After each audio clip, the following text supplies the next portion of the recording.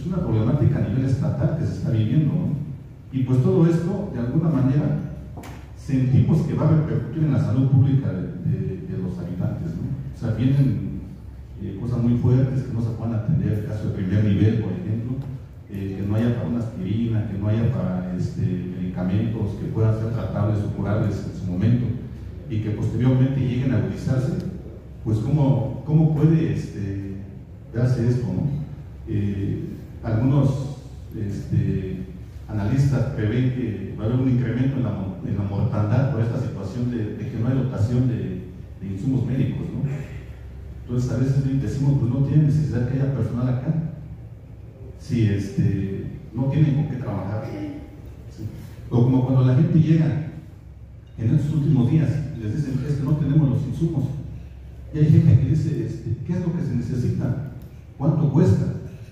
Yo creo que me sale más barato que lo consigan en la localidad a que me manden a la ciudad de Oaxaca y me atiendan. Porque ya son más implicaciones, pues este, hospedaje, traslado, alimentación, son muchas cosas más.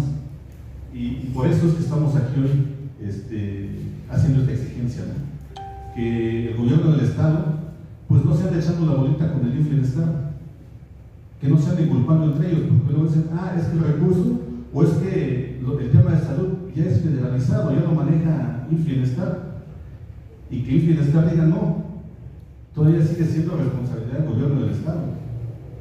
Y en esa parte, los servicios de salud quedan al aire, quedan descubiertos. Y no nada más los servicios de salud, la ciudadanía, los usuarios, los pacientes, la gente que se enferma, los crónicos, las embarazadas. Entonces, eh, por eso es que hacemos este, esta exigencia a través de ustedes eh, para que nos oigan, porque en el mes de marzo, cuando se hizo una petición, este, junto con las demás autoridades municipales, en el mes de febrero se le mandó una petición también al gobierno del estado, en donde se solicitaba también este, el mantenimiento del hospital. Se solicitaba el mantenimiento de la ambulancia, o de las ambulancias que tenemos, el abastecimiento de medicamentos, este, un autoclave para la esterilización de equipo quirúrgico y médico. En ese momento también se pidió la rehabilitación de la planta de tratamiento de aguas residuales.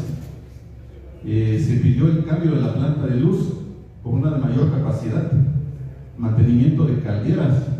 También se le pidió la contratación de personal. Necesitamos un psicólogo, necesitamos ginecólogos, anestesiólogos, pediatras, necesitamos este, internistas, químicos, necesitamos enfermeras, necesitamos este, trabajadoras sociales, trabajadores sociales que nos ayuden también este, con los pacientes que vayan llegando. Pero pues no nos da respuesta clara, no, no brindan una atención o una solución a, la problemática que se está viviendo. Hace unos días, eh, con esto de la temporada de lluvias, pues la luz se va continuamente. Y pues tuvimos la desdicha de que por la falta de energía eléctrica, la planta no alcanza a cubrir la necesidad del, hospital y pues algunas vacunas se echaron a perder. estamos, se están desperdiciando algunas cosas por falta de mantenimiento. Y otra de las cosas también que, ha estado pasando, pues hay gente que aprovecha para llevar este agua a su molino. Hay médicos que te dicen, no señor, aquí no te vamos a atender porque no insumos. ¿Por qué no mejor vas con planito de acá en la privada?